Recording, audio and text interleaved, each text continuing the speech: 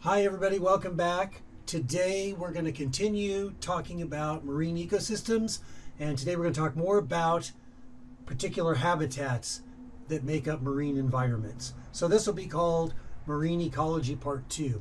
So, first, if I asked you to look at these two places here, A and B, and I said, uh, which of these do you think has more animals in it? If you went out and were trying to find animals, which one do you think you'd find more in? Um, you might look at these two ecosystems here and think that it's probably B. You look at A and doesn't look like there's anything there.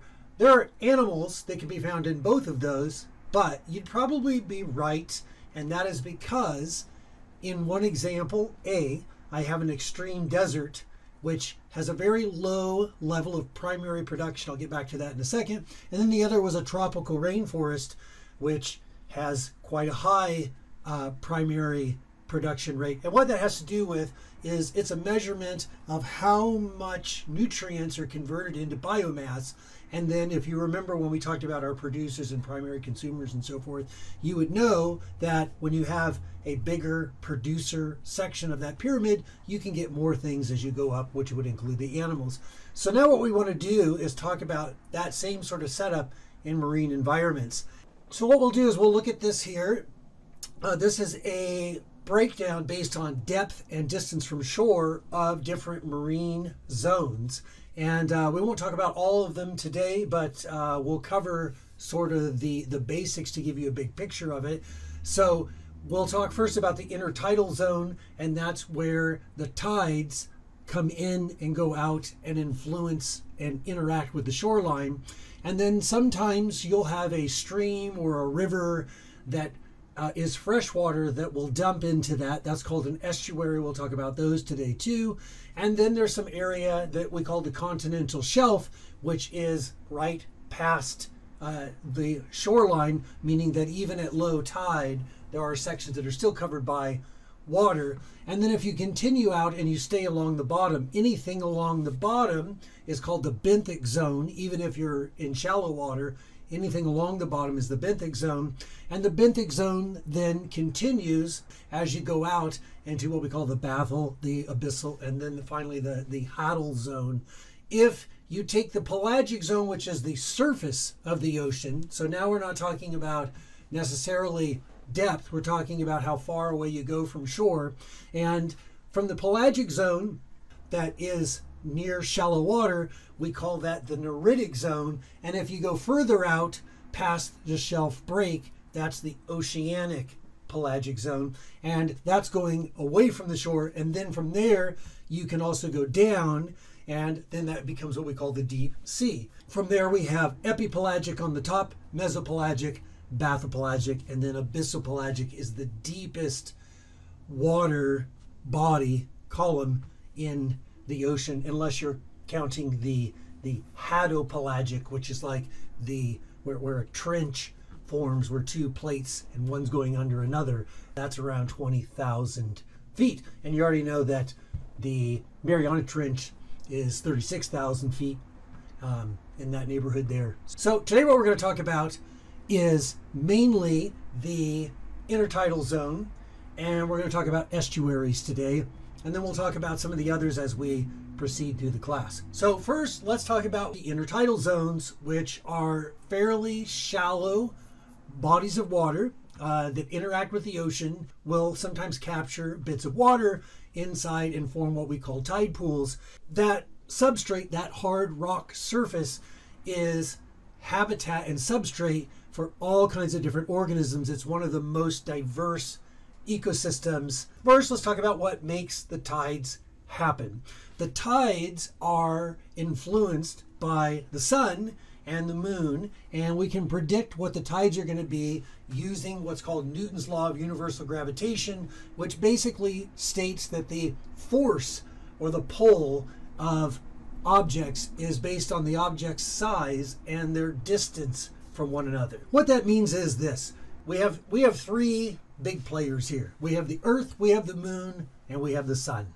We're looking at how gravity affects things on Earth. So, what ends up happening is the Sun and the Moon have an impact on the tides, but the moon has the largest impact on the tides. So the moon is spinning around the earth. It takes about a month for the moon to go all the way around its orbit around the earth. It's actually just a little bit longer per day. The earth is also spinning, so it takes 24 hours for the earth to spin around on its own axis. And then, of course, the Earth is also going around the Sun as the other planets are, and that takes one year. When the Moon and the Sun and the Earth are all in a straight line to one another, that gives you the biggest tides. Those are called spring tides. And when the Moon and the Sun and the Earth are at a right angle to each other, that gives you what are called neap tides. Most places, including where we live, there are two low tides and two high tides per day. So what ends up happening is these organisms that you can see that are scattered along the shoreline here, they, they distribute themselves based on their tolerance to things like temperature and wave shock and how dry it's going to be and that sort of thing. Some of the organisms can move, some of them can't. So wherever they're at on this rocky intertidal, they have to be able to withstand or move from that area whatever environmental temperatures are going to affect it. Often there's big rocks and it goes up and it goes down. So it's not just a distance from the shore that affects which zone organisms are going to be labeled to being in, but that's a good start. So we have what we call four zones. We have zone one, two, three, and four. They're also called the splash or spray zone. That's the driest one. That one does not get wet unless it's the highest high tide. So most of the time, that's like dry land. And then going all the way down to zone four, that's the low tide zone. That's the one that's the wettest. That one is always underwater unless it's the lowest low tide and then it'll still be you know pretty close to that. So and these are some examples of specimens uh, that you can find down there. Little brown barnacle uh, rough limpet owl limpet sandcastle worm and green green anemone and surf grass. These are all in our intertidal zones. Many of these we've talked about throughout the semester.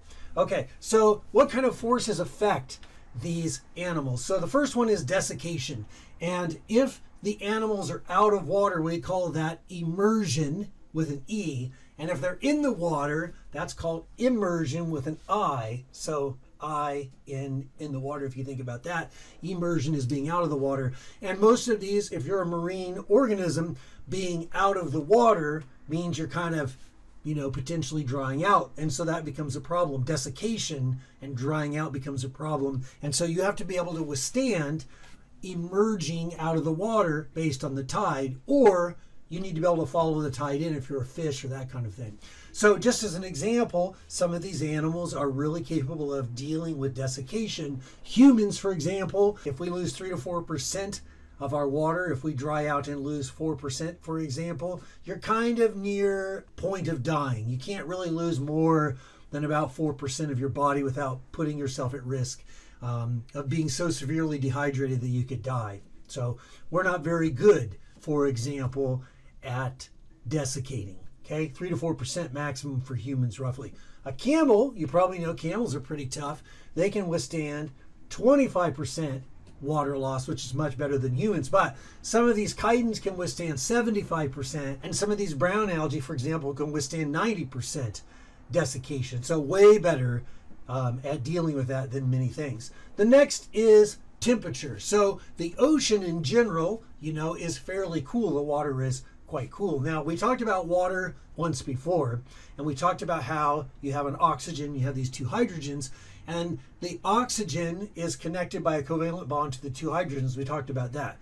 But the part I probably didn't tell you is that the oxygen pulls the electrons more than the hydrogens. So it has a stronger pull of those electrons that they share, which means that some of the electrons are more around the oxygen, which makes the oxygen a little bit negative, and it makes the hydrogens a little bit positive, which means that that kind of bond we call a polar covalent bond and not just a covalent bond because there's an unequal sharing of the electrons. So what ends up happening then is if you have two water molecules or more, the hydrogens, which are slightly positive, are attracted to the negative ones on the oxygen, and that's what we call a hydrogen bond. And the hydrogen bonds are not very strong, but there's a lot of them, and because there's so many of them, water tends to hold on to itself. And the reason that becomes significant here is water, because of the hydrogen bonds and the polar covalent bonds, has a very high specific heat, is what we call it.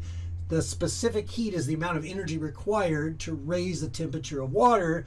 And so, what ends up happening is water resists temperature change. It doesn't change a lot, it's very stable in its temperature. So, it tends to stay nice and cool. So, organisms that are in the water are exposed to usually very cool water temperatures. The point of that is animals that are in these tide pool or rocky intertidal zones have to be able to withstand temperature changes that can be pretty severe.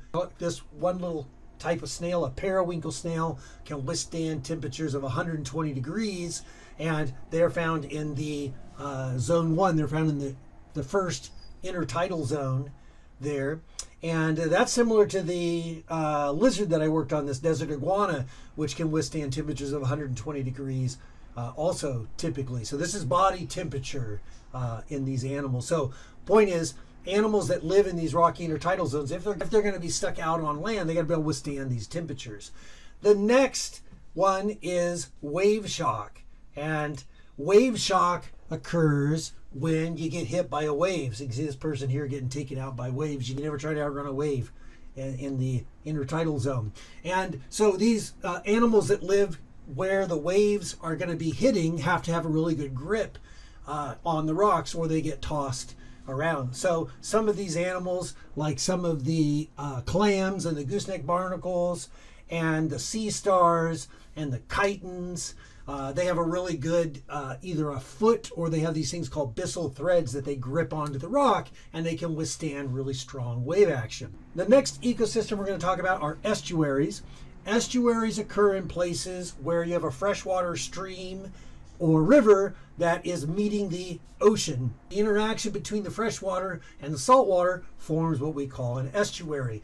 This is Newport Back Bay, uh, which is a very large estuary uh, in Southern California. There's a couple up and down our coast. You can see Catalina Island right there in the background, and this is in the city of Newport Beach. And what happens in an estuary is we have some saltwater issues because we have, first of all, we have fresh water draining into the ecosystem, and we have salt water as the tide comes in, pushing uh, this interaction between fresh and salt water. And because salt water is denser because of the salt in it, it ends up going under it and forms that what we call a salt wedge. And that changes depending on things like snowfall and rain and tides. So this is always shifting back and forth. And so there's a variation of fresh and salt water that changes throughout time over here.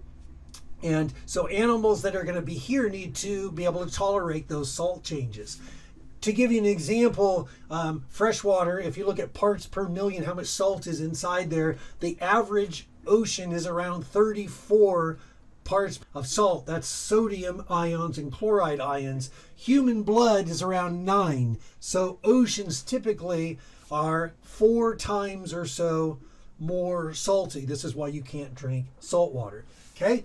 All right. In addition to the estuary and the water, when the tides go out, there is often what's left is what we call salt marshes or mud flats uh, depending on where you're at on this. And so these are ecosystems that are kind of sometimes underwater and other times they're not. And when they're exposed, they when the water retreats on say low tide, they expose these salt marshes or these mud flats and there's lots of marine organisms that burrow down in the sand. You might remember when we talked about birds, we talked about this idea of resource partitioning because that attracts all these different kinds of birds with different kinds of bills designed to try to access or catch those organisms there. We're going to stop there. Next, we'll talk about the continental shelf and then coral reefs and we're approaching the end of the semester. I hope everyone's having a good day, and I'll talk to you soon.